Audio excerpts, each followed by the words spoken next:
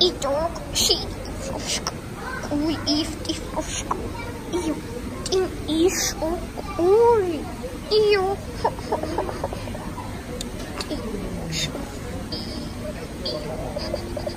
Nå for å skade små, så er det utrolig. Ja. Froskene er elsker å spise flor.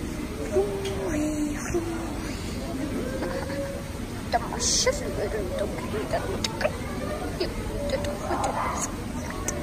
Oi. Jeg ser tre giftige. En der, en der og en der som prøver på haka si. Den klatrer der. Der. Ja.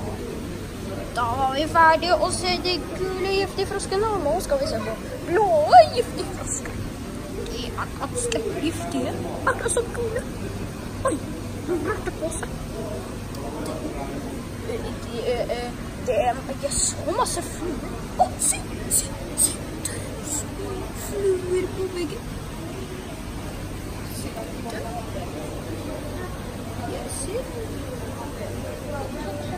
De er ganske små. Ja, zie her, da. På de fluene som er oppi skolen. Oi, oi, oi. Er er en gulvanngiftig frosk. Ja, det er den siste frosken. Og se, det er to stykker som gjemmer seg bak her. Ja. Små frosker. Jeg bare elsker giftige frosker. Ja. Thank you.